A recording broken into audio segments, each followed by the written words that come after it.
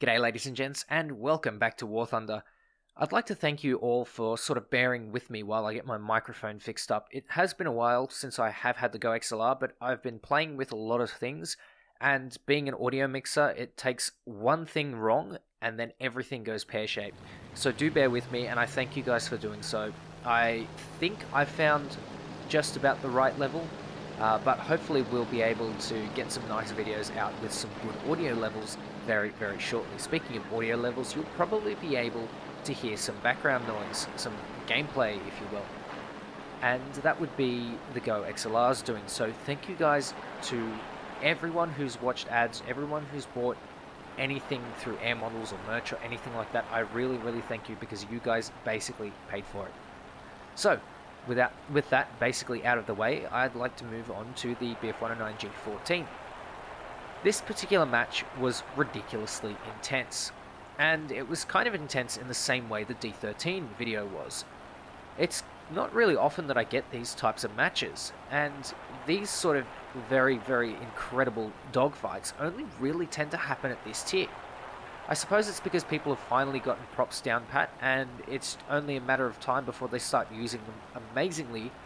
And at this point, you have sort of a battle of the titans those people that are fairly experienced, as well as those sort of new gunners that are making their way up the tech tree but have also managed to master the art of props.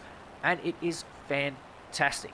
If you can ever get yourself up to this battle rating and sort of master it, you are a damn good prop pilot. And these battles, whilst it's not entirely me being an amazing player, these dogfights really just made me happy.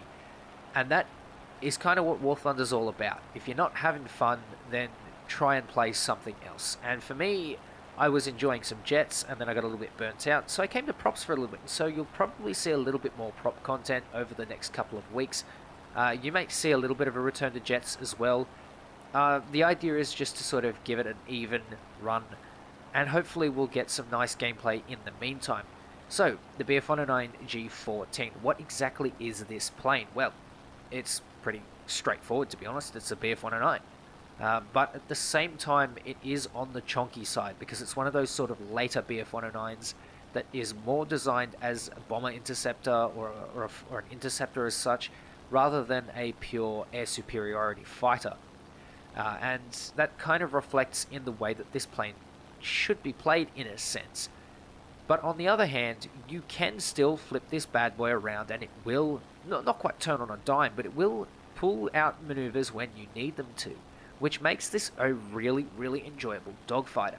Now, what I've done is I've climbed at about 200, somewhere between 240 and 280 kilometers per hour is about your ideal climb rate. That's in IAS, and I would highly recommend that everybody displays both IAS and true airspeed up on their HUD and you can do that in the menu. I can't quite remember, but definitely play around because it'll it'll now give you the option for both, which is something that I've asked for for a very very long time.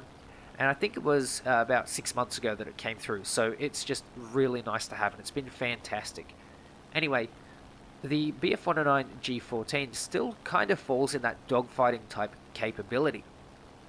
The K4 is where it really starts to become a chunky monkey, and even though the K4 can still do some little tricks and some dogfighting, I probably wouldn't take the K4 out as a dogfighter. I'd do more energy fighting, and that's kind of where you have to sort of move towards in the G14. You can throw it around if you really want, but energy fighting really is the key with this thing. If you can maintain an energy advantage over, say, a Spitfire, a Corsair, a P-51, you really have that game in your hands. And that's exactly what I'm trying to do with climbing. I'm above this first Spitfire, but a second one is about to pop in. And these are going to be my primary opponents this match. I'm actually not going to kill anything except a Spitfire. And uh, spoiler, I'll kill a PB4Y, but we'll get to that in a little bit. So, this particular Spitfire here, who's off on my uh, right wing, is making a really good pace towards me. And as you look at my airspeed, I'm actually quite slow. My indicated airspeed, which to me is the more important airspeed, uh, is, uh, is very, very low. And the reason why indicated is a bit more important is because that sort of dictates my, my turning capabilities as well as my uh, like my rip speeds and my stall speeds. So speaking of stall speeds, I'm going to drop my throttle and I'm going to not stall. I'm going to try and pick up less speed than this Spitfire in a dive, but then I realise he's an LF Mark 9 and he is outturning the living hell out of me. So my best option is to hammer the throttle and try and make a run for it. Now, the BF-109, whilst being the overall faster plane at altitude, is uh, one of the slower accelerating planes. So you need to sort of maintain as much speed as possible or pick it up in a dive, which is what I've done here, and hopefully go up to a vertical where the Spitfire will not be able to follow due to its lower energy retention, and then using some clever flaps, come down on this Spitfire and hopefully land yourself a really nice stall kill. Now this Spitfire starts off pretty smart and he's just going to sort of fly underneath me, try and get me to commit to a turn fight by pulling that left hand turn but I'm really not going to be having any of it. I need to go straight to that vertical because I know I'm going to lose a turn fight and I'm converting that altitude, sorry, that speed back into altitude in the hopes that he will stall out and this Spitfire follows me hoping that his lower stall speed will sort of bring him to get the kill on me. However, it doesn't really happen because we're at the altitude where the LF Mark 9 is not a happy chappy and he lands right in front of my guns. That, my, my, my good friends, is probably the best stall kill that I've had in a very, very long time. The best rope-a-dope. But we don't even have time to sort of relish on that kill, so I'm going to throw in some rudder, throw in some rolls against this Spitfire, lowering, lowering my throttle, but not cutting it entirely, and just trying to roll and rudder out of the way of this Griffon Spitfire. The Griffon Spitfire, unlike the Merlin, has a little bit less turn rate, but has better energy retention, so you have to sort of be a bit more careful in this situation, but I've managed to damage his cooling.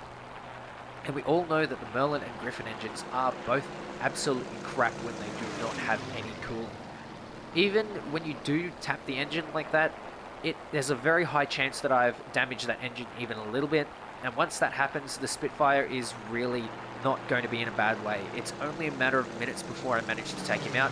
And all I have to do is engage in this sort of vertical turn fight which is kind of more leaning towards an energy fight than a turn fight. I'm using my throttle to try and make the nose fall in a little bit quicker, and then as I go down, I'm going to hopefully hammer the throttle, which I kind of forget here, and only do it at the last second. But you can see that he's now starting to run out of energy. His highs are not even coming close to my, or, or they're just coming to roughly my lows of my loops.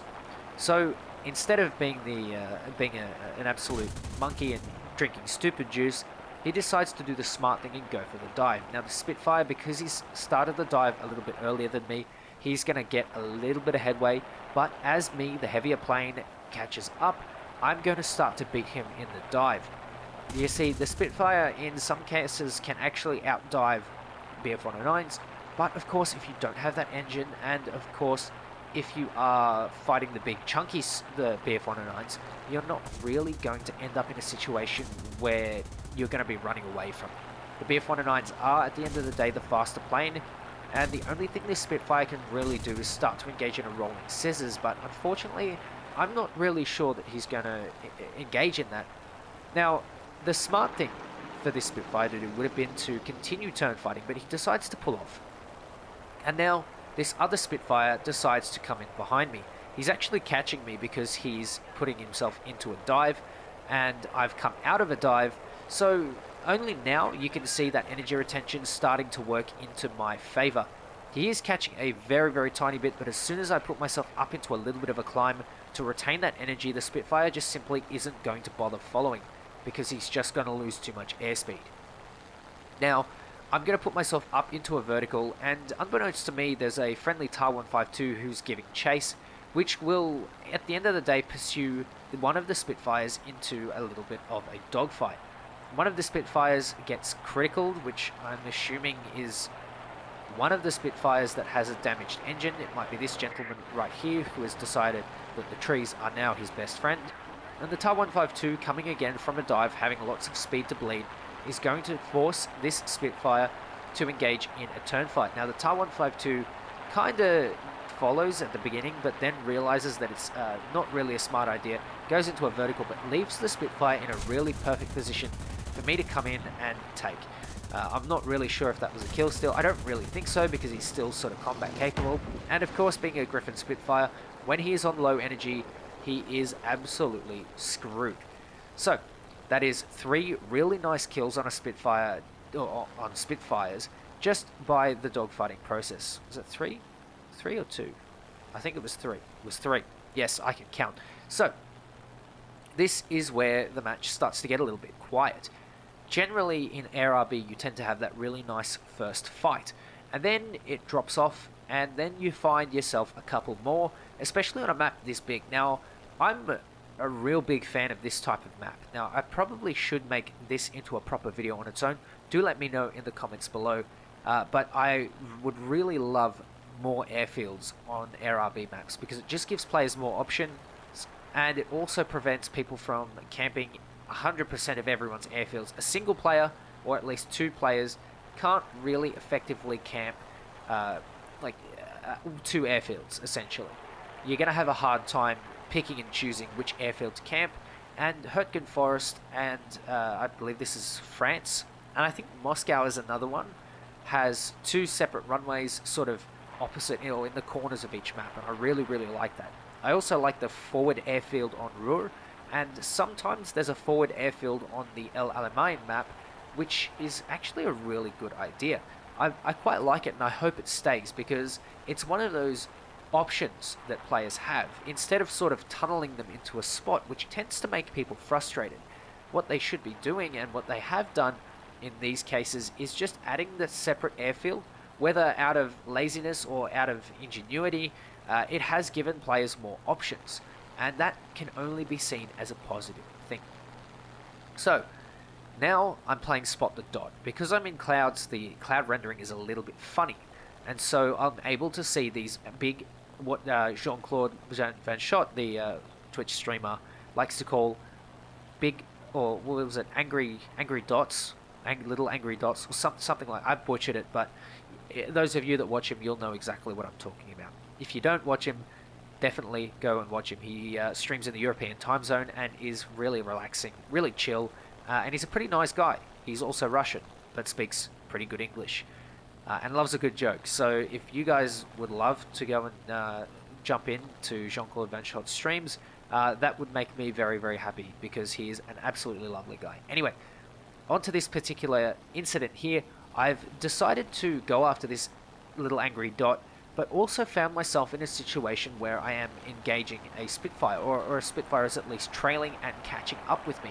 Now, I'm not really sure how he's managing to catch up with me, but I suppose it's probably just because he's dived from altitude. Now, this PB4Y, I've already gone into a straight line, so I'm not really going to turn for this Spitfire, just because that closure rate is really, really high, and I might as well snag myself a PBY while I'm at it. The PBY does damage my engine and my oil tank, and this kind of leaves me in a weird situation. I'm not going to be able to out-energy this guy, so I have to get into a dogfight. He is an LF Mark 9, and I am going to really, really struggle fighting this guy. I put myself in a situation where I am quite slow, so I'm going to use that rudder to try and kick me over, lowering the throttle of course, and then putting the nose down just a little bit to sort of hopefully get this guy to overshoot, and then out of the clouds comes a P-47M. Now the P-47M is ridiculously strong and is a formidable opponent. So an LF Mark 9 and the the uh, the uh, P47M right behind me are going to be really, really tough. Now the Spitfire is obviously still going max throttle and he manages to barely overshoot, but because of some rudder funkiness in the BF109, I absolutely get smacked in the right spot by the uh, P47M. And now I have to make a decision between P47M or Spitfire LF Mark 9, and I choose the P47 simply because the P47, if I can get rid of him, perhaps I have at least one chance, or at least I can take someone down with him. So, the LF Mark 9 decides he wants to come in, and the Ta 152 manages to sweep in, get the kill, just as the match ends. What an absolute cockblock. That made me really, really sad, but honestly, it was a fantastic dogfight, and I'm going to come away a happy man. Ace or not, I guess that's just how the cookie crumbles. Anyway, ladies and gents, thank you very much for watching. Take care, and I'll catch you next time.